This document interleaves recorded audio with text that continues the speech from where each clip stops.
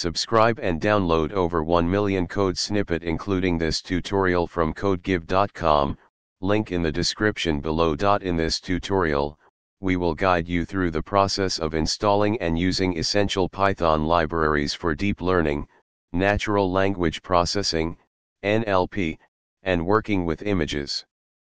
Specifically, we will cover the installation of PyTorch for deep learning, transformers for NLP tasks, Python PPTX for creating PowerPoint presentations, and Pillow for image processing. Before we begin, make sure you have Python installed on your machine. You can download Python from python.org. Additionally, we recommend using a virtual environment to keep your project dependencies isolated. PyTorch is a popular deep learning library. To install it, visit the official PyTorch website, https colon slash slash pytorch.org slash get hyphen started slash locally, and select the appropriate installation command for your system.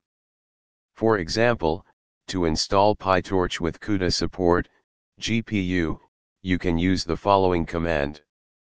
If you don't have a GPU or CUDA support, you can install the CPU version. Transformers is a library by Hugging Face that provides pre-trained models for natural language understanding.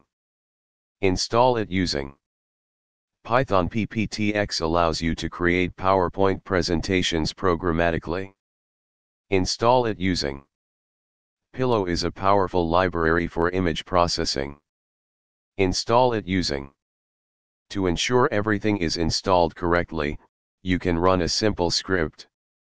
Create a Python script, example verify underscore installations.py, with the following code. Run the script. If everything is installed correctly, you should see output indicating successful installations for PyTorch, Transformers, Python PPTX, and Pillow.